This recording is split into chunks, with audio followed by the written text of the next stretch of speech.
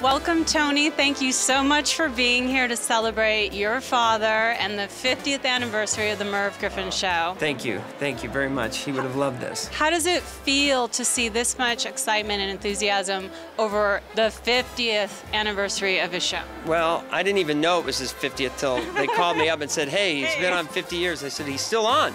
Um, well, it's fantastic. All these great people coming out um, Donna Mills, Vanna White, um, Renee Taylor, who got married not once but twice on the Merv Show, uh, was here with Joe Bologna. Yes. And uh, it's really fun to see them all, and um, the excitement's back. And you know, my dad would have loved this. He would have. He'd been. He, he's such a personable guy. He loved people. Yeah. And that's why he his talk show lasted for 23 years. You know, because he he said at the end, he said, I've interviewed everybody. I have nothing else to ask. So uh, that's why he kind of stopped his show.